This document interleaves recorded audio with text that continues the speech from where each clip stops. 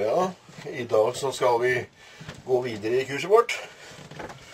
Og vi skal i dag lære hvordan man eh, tisser fra båten. For det er ikke alle som kan. Mange drukner når de tisser i sjøen. Men nå skal vi lære å tisse på en trygg og riktig måte. Da snakker vi om å stå på dollbordet og tisse i sjøen, da. Og det er ikke alltid så lett. Altså Hvis man har pilsen i den ene hånda og skal tisse med den andre hånda, så, så må man gjøre visse trikk, da.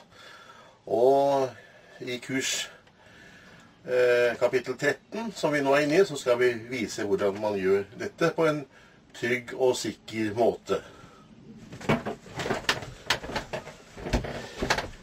Så da er vi kommet til kapittel 13 i kurset, som skal vise oss hvordan vi tisser fra dolbordet på båten. Og det er jo ikke alltid lett. Her har vi alltid pilsen skal du ha i venstre hånd. Du tisser og åpner buksesmekken med høyre hånd.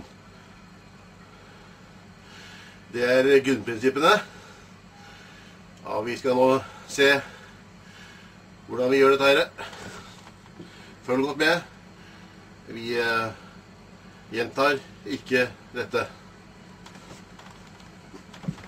Man reiser seg opp, finner balansen. Helt stødig og lett. Snur seg vekk fra folk. Det skal ikke være noe sirkus her.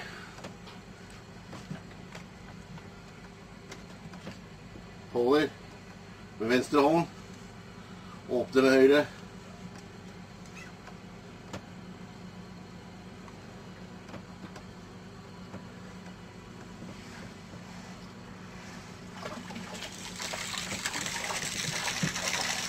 Og vi starter.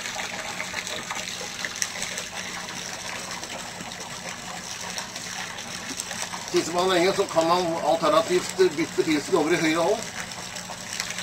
Slik.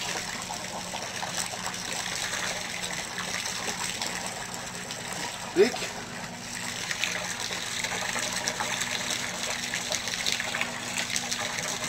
Ja, og det var det hele. Man står støtt og.